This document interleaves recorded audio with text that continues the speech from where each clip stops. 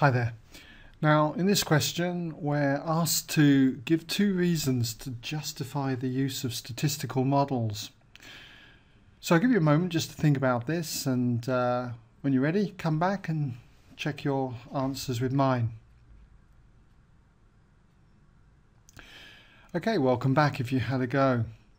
So there's four suggestions I'm going to put up here. Any two would do.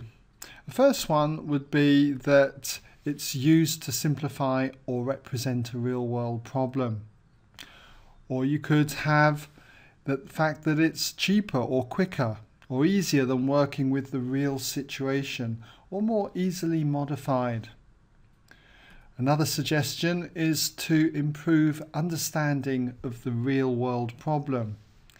And finally, it's used to predict outcomes from a real world problem.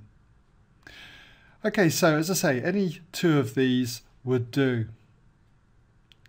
Now, in part B, we're told that it has been suggested that there are seven stages involved in creating a statistical model, and they are summarized below, with stages 3, 4 and 7 missing. And what we've got to do is write down the missing stages. Okay, well I'll give you a moment just to pause the video. Okay, welcome back then. So we've got stage one then is the recognition of a real world problem and in stage two a statistical model is devised. So for stage three and stage four, well you can have these either way round. For stage three or four, you could have a model is used to make predictions.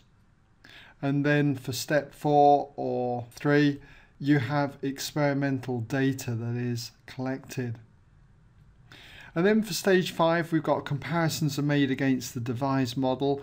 And stage six, statistical concepts are used to test how well the model describes the real world problem.